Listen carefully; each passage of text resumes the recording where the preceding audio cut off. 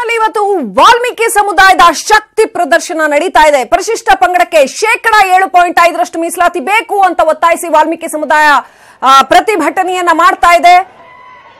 ವಾಲ್ಮೀಕಿ ಸಮುದಾಯದವರು ಪಾದಯಾತ್ರೆ ಮಾಡಿಕೊಂಡು ಬೆಂಗಳೂರಿಗೆ ಬಂದಿದ್ದಾರೆ.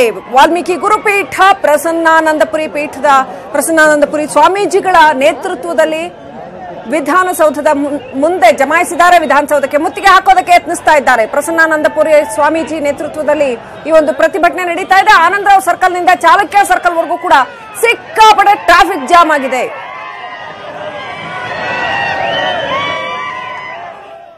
ಪೀಠಾಧಿಪತಿಗಳಾಗಿರ್ತಕ್ಕಂಥ ಪ್ರಸನ್ನಾನಂದ ಪುರಿಯವರು ಕಳೆದ ಹದಿನಾರು ದಿವಸಗಳಿಂದ ರಾಜನಹಳ್ಳಿಯಿಂದ ರಾಜಧಾನಿಯವರೆಗೂ ಹೇಳಿ ಪಾದಯಾತ್ರೆಯನ್ನು ಮಾಡಿಕೊಂಡು ಬಂದು ಜನಜಾಗೃತಿಯನ್ನು ಉಂಟು ಮಾಡೋದರ ಜೊತೆಗೆ ರಾಜ್ಯ ಸರ್ಕಾರದ ಗಮನವನ್ನು ಸೆಳೀತಕ್ಕಂಥ ಮತ್ತು ರಾಜ್ಯ ಸರ್ಕಾರದ ಮೇಲೆ ಒತ್ತಡವನ್ನು ತಂದು ಜನಸಂಖ್ಯೆಗೆ ಅನುಗುಣವಾಗಿ ಏಳುವರೆ ಪರ್ಸೆಂಟು ಎಸ್ ಟಿಗಳಿಗೆ ಹಾಗೆ ಹದಿನೇಳು ಪರ್ಸೆಂಟು ಎಸ್ ಸಿಗಳಿಗೆ ಕೊಡಬೇಕು ಅನ್ನುವಂಥ ಒತ್ತಾಯದ ಹಿನ್ನೆಲೆಯಲ್ಲಿ ಇವತ್ತು ಪಾದಯಾತ್ರೆ ಕನ್ಕ್ಲೂಡ್ ಆಗ್ತಾ ಇದೆ.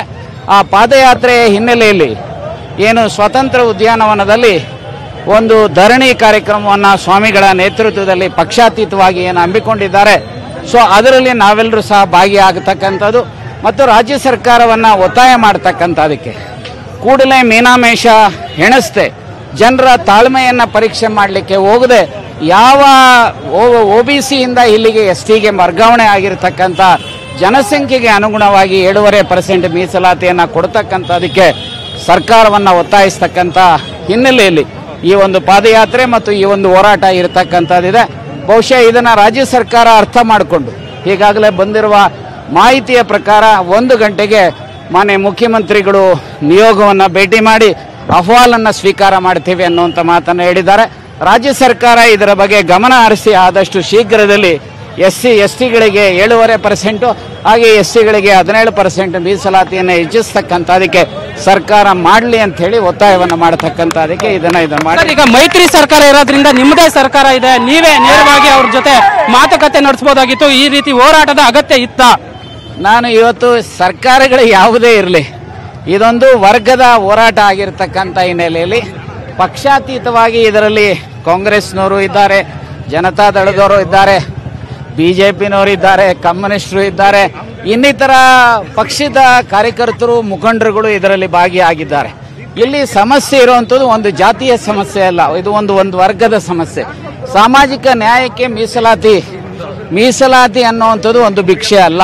ಮೀಸಲಾತಿ ಸಂವಿಧಾನದ ಹಕ್ಕು.